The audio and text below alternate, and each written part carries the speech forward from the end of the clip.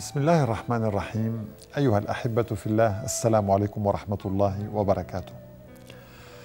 ربما كثير منكم صعد في الطائرة وشاهد هذه الغيوم ولكن الحقيقة العلماء درسوا هذه الغيوم ووجدوا شيئا عجيبا أن الغيوم التي ينزل منها ما يسمى بالبرد ظاهرة البرد هذه وحبات البرد التي تشبه الثلج الصلب جدا تتشكل فقط في الغيوم المرتفعة جدا ذات القمم العالية التي تمتد لعدة آلاف من الأمتار.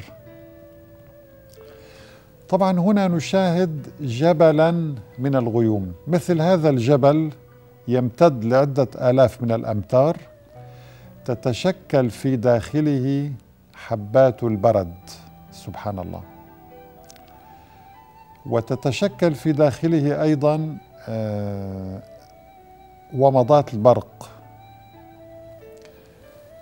يقول الباحثون إن هذا النوع من الغيوم يسمى بالغيوم الركامية. وهذه الغيوم تتراكم حتى تصل إلى ارتفاعات عالية جدا يعني من قاع أو قاعدة الغيمة إلى قمة رأسها يمكن أن تبلغ ثلاثة أو أربعة آلاف متر. فهي بالفعل تشبه الجبال من حيث الحجم والارتفاع.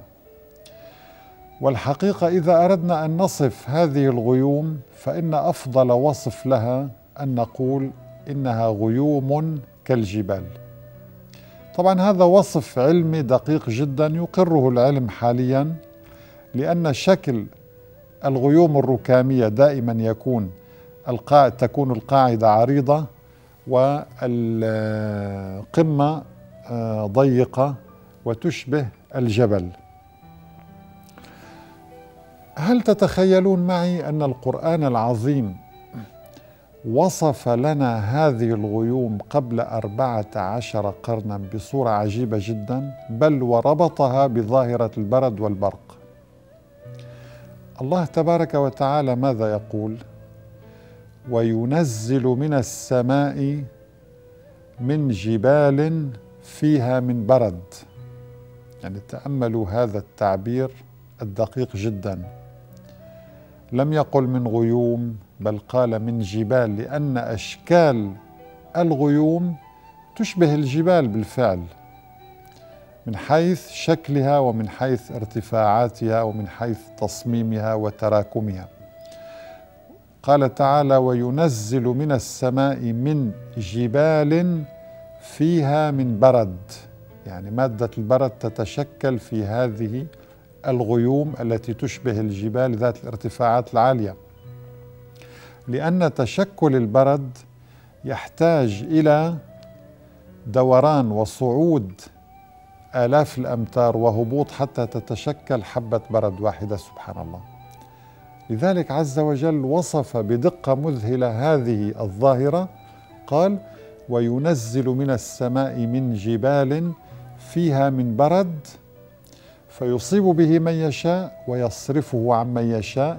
يكاد سنا برقه. انظروا إشارة إلى ظاهرة البرق التي أيضا لا تتشكل إلا في مثل هذه الغيوم. يكاد سنا برقه يذهب بالأبصار. يقلب الله الليل والنهار. إن في ذلك لعبرة لأولي الأبصار. الآن أيها الأحبة دعونا نتساءل.